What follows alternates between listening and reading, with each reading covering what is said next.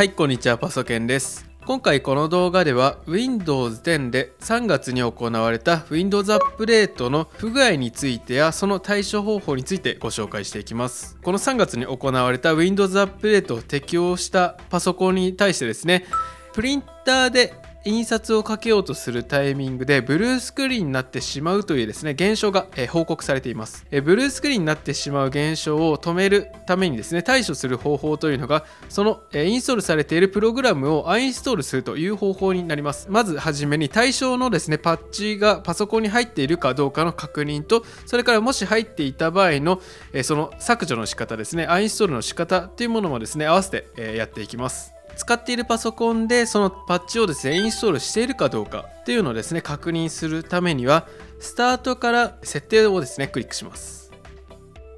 そして設定の画面でこの中にある、えー、更新とセキュリティを選択します。そして更新とセキュリティの中にある Windows アップデートですねこちらをクリックします。そしてこの Windows アップデートのところでこの項目4つあるんですがこの中に更新の履歴を表示するというものがあるのでこちらをクリックします。そして、え更新の履歴を表示するという項目に切り替わったらここの一番上にあるですね更新プログラムをアンインストールするの文字をクリックします。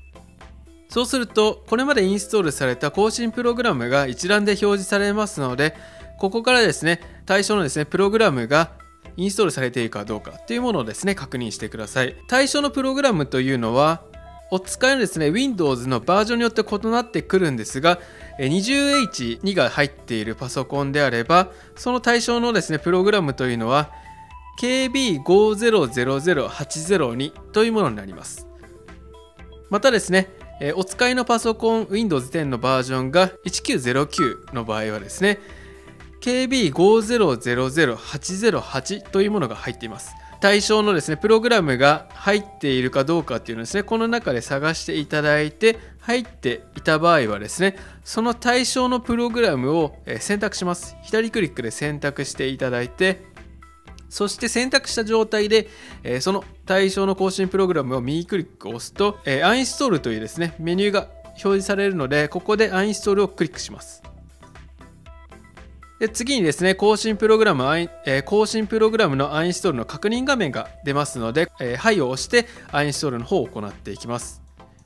でアインストール後はですね再起動ともし促された場合はその指示に従って再起動の方を行ってください。またですねこの更新プログラムですけれどもアインストールを行った後も、え、自動的にですねこの Windows アップデートによってまたインストールされてしまう恐れがありますのでそれをですね防ぐためにはこの Windows アップデートの項目にある更新を7日間一時停止というものがあるのでこちらをですねクリックしていただいてひとまずですね Windows アップデートを停止しておくことでえとりあえずですけれどもその対象のパッチがまたインストールされてしまうということをですね防ぐことができます。